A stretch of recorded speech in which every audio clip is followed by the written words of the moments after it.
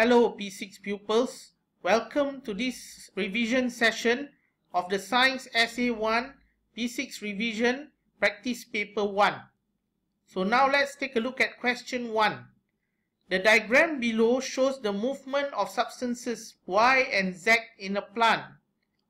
So the roots here, we have the stem and the leaves and you can see the Y moves from the roots to the stem to the leaves. And as for Z, it moves from the leaves to the stem to the roots.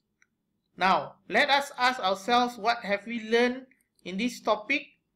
We have learned that water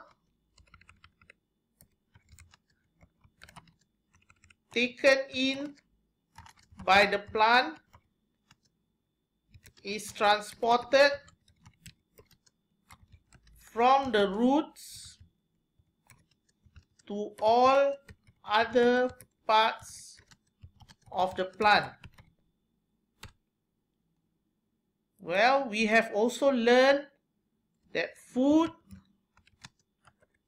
made by the plant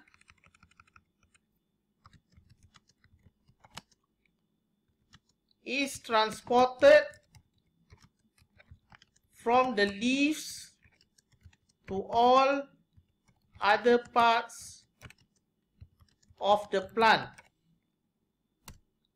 Okay, so with these two things in mind, we can take a look that Y moves from the roots to the stem to the leaves. So Y is representing water because it comes from the roots first to all other parts of the plants. Whereas for Z, it is representing the food because it is moving from the leaves to the stem to the roots, which is all other parts of the plant. So Y is water and Z is food. Now let's take a look at our options. Option 1 is out. Because Y is supposed to be water. So option 2 is also out. So let's take a look at option 3 and 4, water and food, water and oxygen. Just now we already mentioned that it is water and food. So answer is 3, water and food.